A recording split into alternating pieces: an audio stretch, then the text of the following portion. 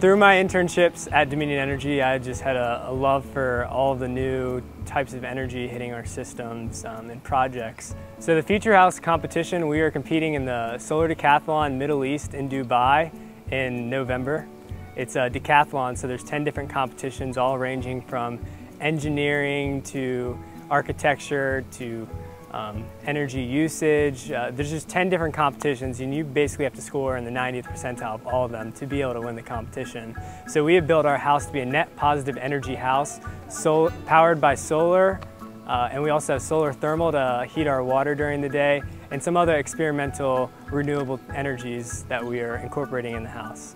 Um, Dominion has a track record of always uh, pushing to innovate. They are always one of the first to try new things that could transform the whole industry. Overall, it's been phenomenal. The things that I've learned, the executive access with all the different roundtables, I really wouldn't be where I am here today without the internship program.